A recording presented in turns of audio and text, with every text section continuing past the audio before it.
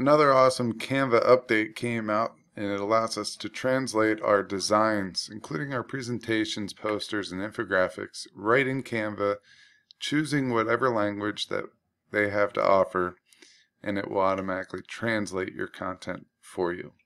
Check it out.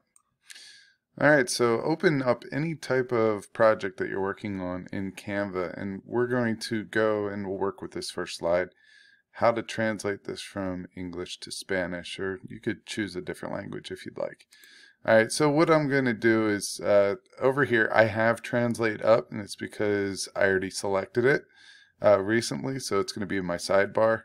If not, just go to Apps, and up at the top type in Translate, and uh, it will pop up for you. You'll select it, and it will be over here, popped up, ready to go. So I have this in English right now. I want it translated to Spanish. I'm going to select page one. I will point this out that you have 500 uses in a in a month uh, for free, so I have 495 left. So I'm going to waste one here uh, just to demo this for you. And as you can see, it comes up in Spanish, and it will also keep your your English there too. So if you need to pass this out to a set of parents, of both English and Spanish speakers. Now they can uh, pick which one they want to read.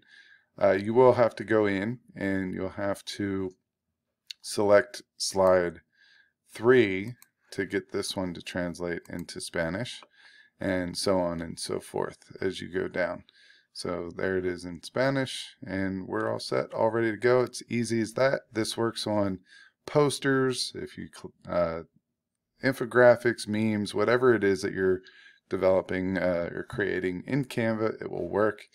Uh, I think this is a very powerful uh, tool to use when we are creating content for our students, for our parents. So I hope you check this one out.